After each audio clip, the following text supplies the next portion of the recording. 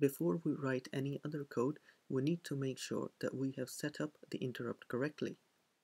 So to do that, we're going to open a serial communication port by writing serial dot begin and we'll use 9600 as the speed and inside the interrupt we will write serial dot print line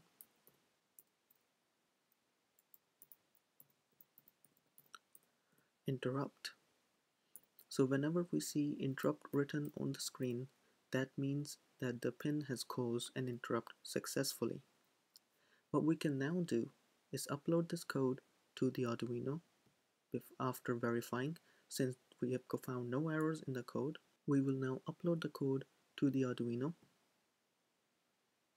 And we will also open the serial monitor here you can see nothing is happening because there are no interrupts connected so if I connect a receiver to pin 53 of the board we shall see an interrupt now if I change from pin 30 53 to 52 we are also getting interrupts being printed to the screen. So for the 51 and the pin 50. This means our interrupt has successfully worked and we can now connect four different channels to these four pins on the mega board and we can start to program to calculate the channel values. Since we are measuring the receiver signal, it is good to recap what signal we are actually getting. All receivers transmit using a PWM signal. The signal on this graph where we have time on the x-axis and voltage on the y-axis looks like this.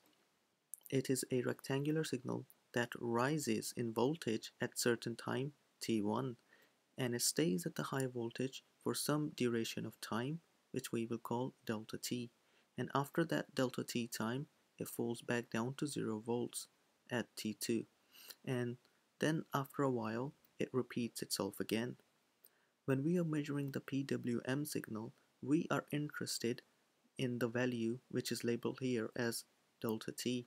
This value would represent the position of the sticks on the controller. Since we have an interrupt set up, the interrupt mask register is checking the pins for any change in the value. So as soon as the time reaches T1, the value changes from 0 volts to about 5 volts. This will cause an interrupt.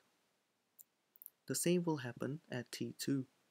When value falls from 5 volts down to 0 volts, we will have another interrupt and we will use that to calculate the value delta t. Now to begin writing the code, first thing I need to do is declare a few variables. I will do that right at the top. What I have done is declared four different variables for timer, last channel, and input. Now as we have the variables ready, we can now go into the interrupt vector and start writing the code. I no longer need this serial.println line so I can get rid of that. The very first thing I am going to do is I'm going to write timer 0 is equal to microsecond. This first line, what this will do is that as soon as an interrupt occurs, a timestamp will be made and it will be saved onto a timer 0. And now I need to check which pin changed in state. For this I will need an if condition. So I will write if open bracket last channel 0 is equal to 0 and sorry and pin b and b followed by seven zeros and last one Now what this condition will do, it will make sure the last channel value was low and the new channel value is a high. So this will check if the pin state has changed from low to high. If you want more information on this PINB and B701 notation, please read the microcontroller datasheet in chapter 13 in Digital I.O. This thing is exactly the same as writing digital read. However, this is a lot quicker and uses a lot less processing time. Inside this is condition, I am going to set last channel is equal to 1 since we know the channel has now risen to a high state and I'm going to set timer 1 is equal to timer 0 after this I will create another condition. This time I will need last channel. Again this is going to be channel 0 is equal to 1 and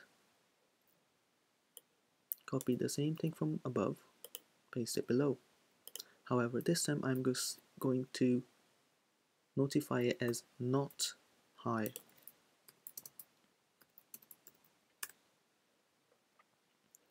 What this line here will do it will make sure that the last channel position was high and the new channel position is low.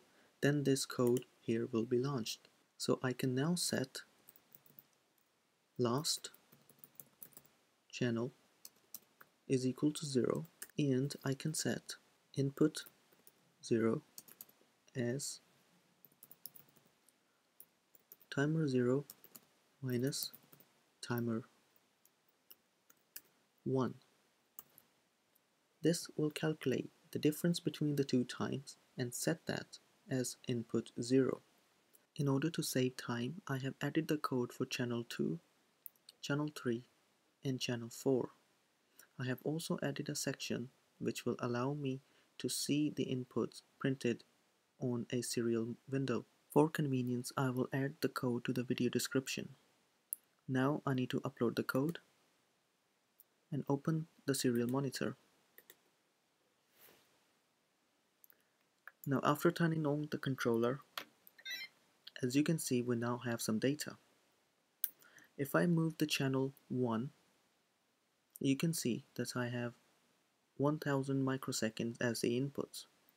And if I maximize the channel 1, I have 2000 as the maximum input. When I change the channel 2, I get 1000 as minimum and 2000 as maximum. Same can be said for channel 3. 2000 maximum, 1000 minimum, and channel 4. 1000 minimum, 2000 maximum. Now the code that I have written is only for 4 channels, however you can easily add more channels if you have more pins available on the board. If you have any questions, let me know in the comments below. Thank you very much and enjoy.